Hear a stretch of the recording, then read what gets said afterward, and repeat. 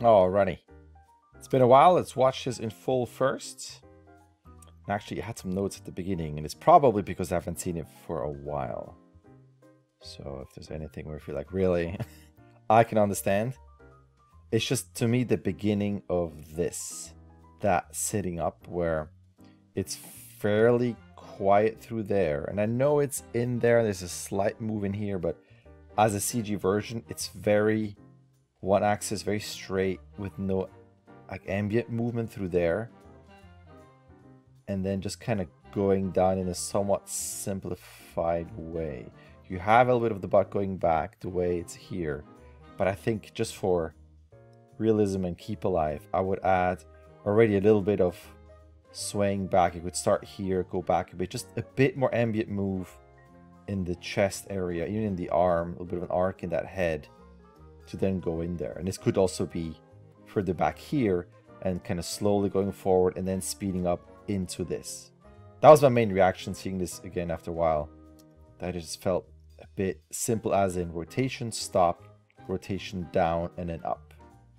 That to me was the biggest thing. Watch out, there is a little bit of a sideways hiccup there where I feel like the body is slowing down, almost kind of slowing down visually to the right and almost coming at us, and then suddenly going a bit faster to the right there. Right there.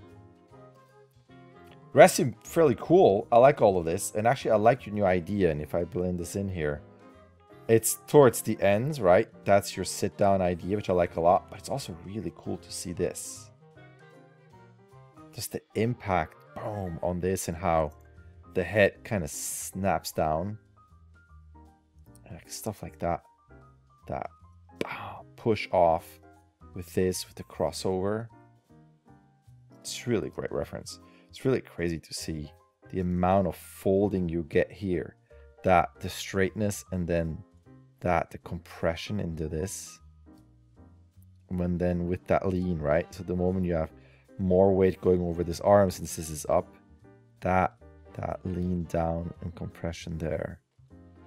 And it kind of how it pivots off of this finger. Anyway, I know that's different reference in terms of the angle and everything, but it's just cool to see. But I like this a lot.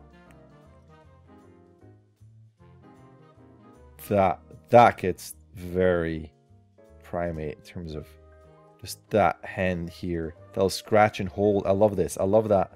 Scratch, hold, slight look, like just long enough to register something. And then the faster look over. But again, with the complexities of a turn like this, and then it stops there, pivoting off of here, like that, with a slight rotation change. And then having this arm here, like the way that is scratching, like that is great. So if you go back to this here, watching this, there's a slight weird feel that drop right there, and it might just be I think it's again the one-two nature of this side rotates down, kind of stops with a little bit of a separate translate back right through there. And it might also help you to continue a bit more like this to kind of fall further back because you're kind of leaning back. It might be a bit tricky. But I'm also trying to avoid that massive intersection through there. So it might help you to potentially take this and almost go a bit further forward so that this is a bit more here.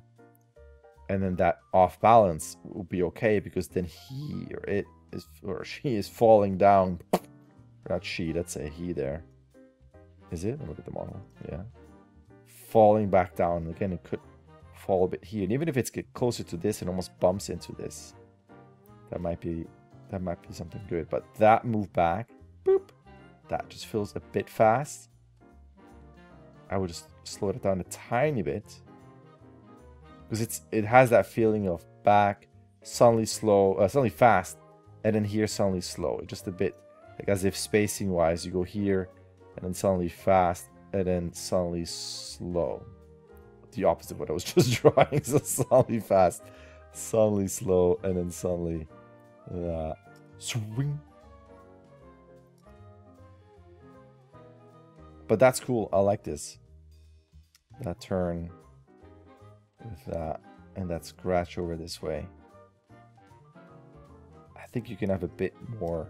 It's a bit even in timing for both of these.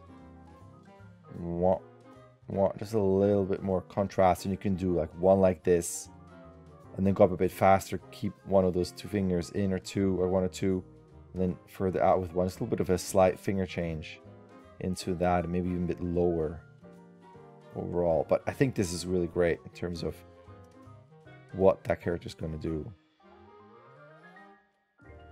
They do scratch a lot and has this, you know, like no human would scratch himself with that hand all the way through there. They'll probably use that arm.